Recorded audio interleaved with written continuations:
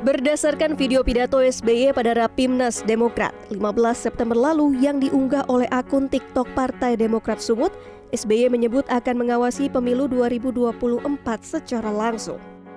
SBY mengaku memperoleh informasi bahwa Partai Demokrat sebagai oposisi akan dijegal agar tidak bisa menentukan capres dan cawapresnya sendiri.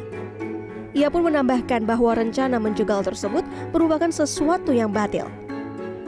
Ia menegaskan rakyat mempunyai kedaulatan untuk menentukan sendiri dan secara merdeka memilih calon pemimpin masa depan. Sementara itu sebelumnya, mengutip dari cnnindonesia.com pada 25 Agustus, Sekretaris Jenderal PDIP Hasto Kristianto mengatakan jumlah pasangan calon presiden dan calon wakil presiden ideal di 2024 nanti hanya dua. Menurutnya, hal ini untuk memastikan pemilihan presiden selesai dalam satu putaran. Namun, Hasto mengutarakan PDIP siap andai pilpres diikuti lebih dari dua paslon dan berlangsung dua putaran. Ia hanya menyayangkan karena kemungkinan ada kesepakatan politik baru pada putaran kedua. Karena hal itu, menurut Hasto, upaya untuk menghindari perpecahan cukup dilakukan lewat kesepakatan antar parpol saja. Pandangan PDIP terkait dua paslon itu berbeda dengan keinginan sejumlah partai lain.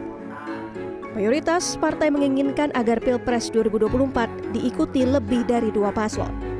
Sejumlah partai yang menginginkan agar Pilpres 2024 diikuti lebih dari dua paslon seperti Demokrat, Golkar, dan PKB.